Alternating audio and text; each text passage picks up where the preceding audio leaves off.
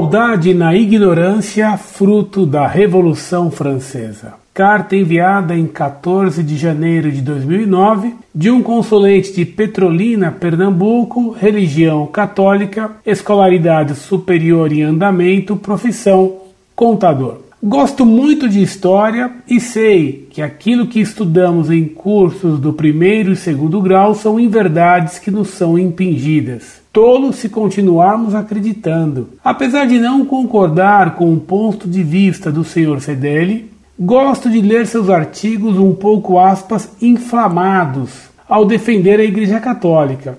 É a sua religião.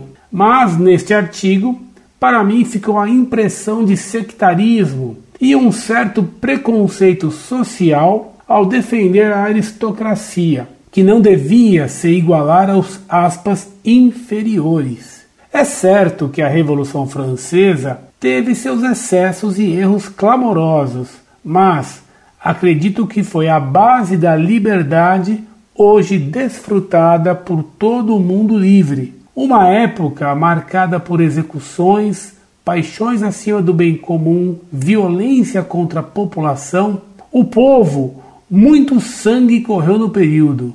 Mas, me diga, qual movimento, seja ele religioso ou secular, que ao promover reformas não se utilizou de métodos nem sempre pacíficos? Apesar do senhor não gostar, mas creio que foi uma conquista do povo, não só francês a liberdade, igualdade e fraternidade. Quando deixaram de misturar religião e política, pelo menos no papel, fazendo com que o Estado passasse a ser laico, grande conquista. A história da humanidade, no geral, é feita de traições, sangue, muito sangue, como ainda ocorre nos dias de hoje. No mais, gosto de aspas saborear seus artigos excelentes, muito embora não concorde com seus pontos de vista, o que não me impede de admirá-lo. Apesar de ter sido, aspas, obrigado a colocar uma religião,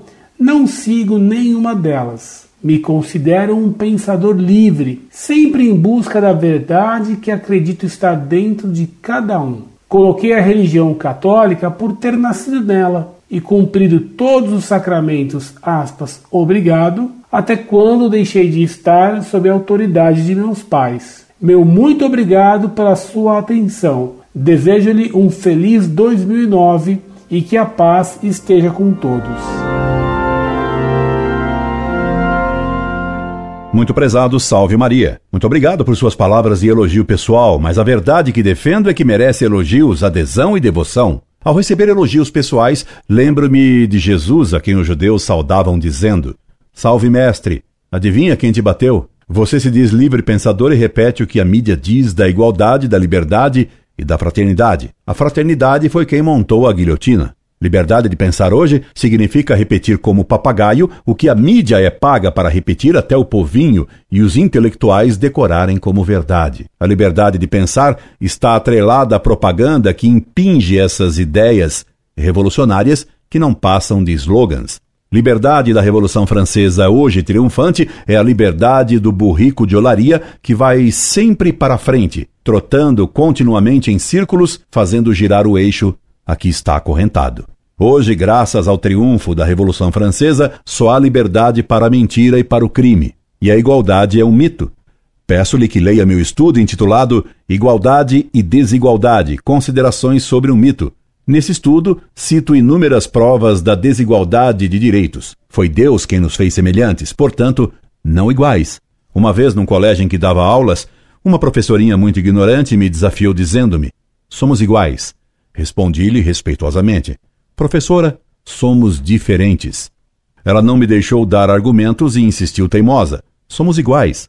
Não era um argumento, era uma teima.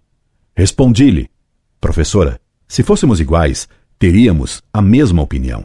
Houve risos e ela se calou, mas duvido que tenha entendido.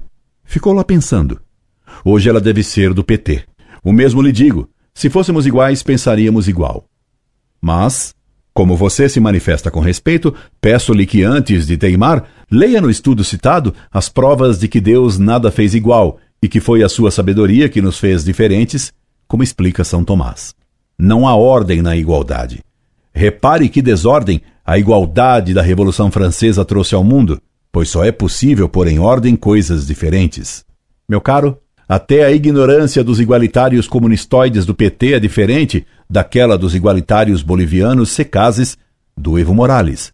E você acha por acaso que possa existir sabedoria igual a do Lula?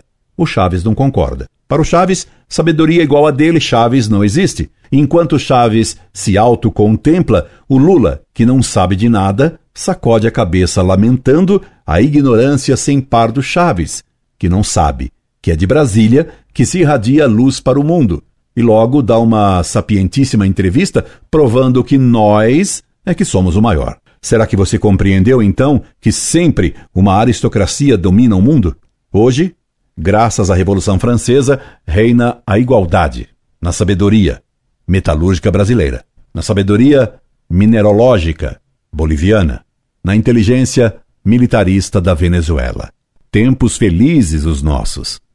E lá vem o Obama com Hillary e Clinton a tiracolo para completar a sabedoria do mundo atual, cósmica. Vivemos uma revolução cultural. E saiba, meu caro, que por ser filho de operário, por ser oriundo do povinho mais simples, admiro a nobreza verdadeira e por isso mesmo detesto os marquezinhos adúlteros de Versailles, aristocratas falsos, cheios de fricotes e de berloques, que liam Voltaire e apoiavam Danton e Robespierre. O povo lutou contra a Revolução Francesa. Foram os camponeses que deram o maior contingente de vítimas para Madame Guillotine, que, matando o povo, colocou no poder os sábios atuais, a aristocracia do dinheiro. Pergunte de onde vem e onde se esconde o dinheiro do PT. Mensalão, mensalão, quantas verdades se escondem em teus andrajos. Liberdade, igualdade, fraternidade é o que defende as sociedades secretas. A CNBB e uma descendente da aristocracia lusitana que foi candidata a prefeita e que teve sobrenome de um plutocrata ex-imigrante italiano. Graças a Deus, nem tudo é igual no mundo. Imaginou que chatice? Aliás, não é preciso imaginar. Contemple o mundo atual. Que igualdade na ignorância, no vício e no crime. Nunca na história se atingiu horror igual. Batemos o recorde. Incorde Jesus Semper, Orlando Fedeli.